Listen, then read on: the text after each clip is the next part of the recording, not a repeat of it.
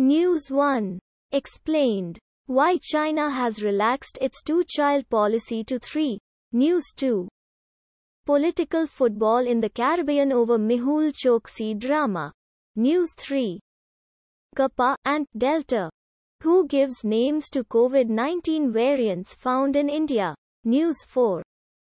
Priyanka Gandhi writes to Education Minister. Advocates not holding Class 12 board exams. News 5.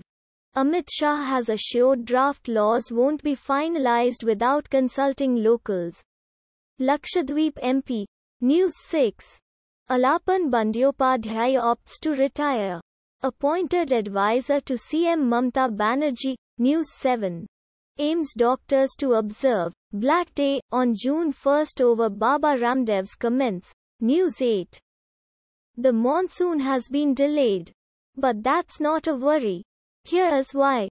News 9. Bharat Biotech to ramp up production of Covaxin to 10 to 12 crore doses by July end. Dr. N.K. Arora, News 10. Please smell the coffee. SC tells Modi Gove over India's COVID vaccination policy. Automatically generated.